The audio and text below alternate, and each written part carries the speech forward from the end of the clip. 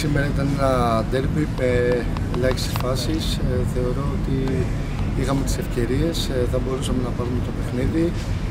Ε, χάσαμε δύο πολύ κλασικές ευκαιρίες ε, και ξαφνικά χωρίς ε, ο αντίπαλος να έχει φτάσει καν στην περιοχή μας ε, με μια ανύποπτη φάση ε, κέρδισε ένα πέναλτι που προηγήθηκε στο, στο παιχνίδι.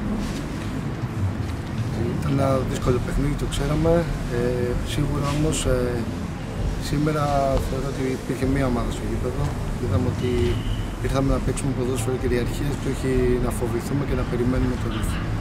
Άσχετα που παίζαμε στην έδρα του. Θέλω να ευχαριστήσω για τη φιλοξενία και θα πράξουμε και εμείς το ίδιο στο δεύτερο γύρο. Ε, ευχαριστούμε πολύ.